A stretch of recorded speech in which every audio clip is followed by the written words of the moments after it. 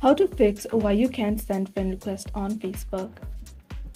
So go ahead and open your Facebook and then click on your profile icon at the top left corner. So go ahead and you'll see at the very bottom it says help and support. So click on that and then click on report a problem.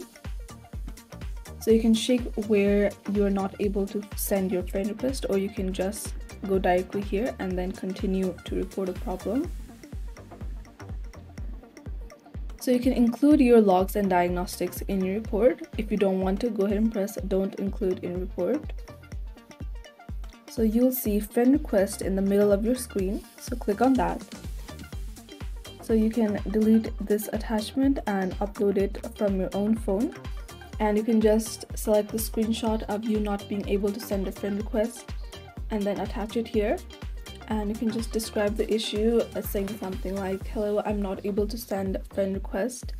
Uh, please help me to solve this problem as soon as possible. And then you can press this send icon at the top right corner right there. So if this is only happening to some people and not to everyone then it might be because the person has changed their settings where only certain people will be able to send friend requests to them like only if you have mutual friends. So if it's only happening to some people then it might just be because of their facebook settings and not a problem on your setting so that is how to fix why you can't send friend requests on facebook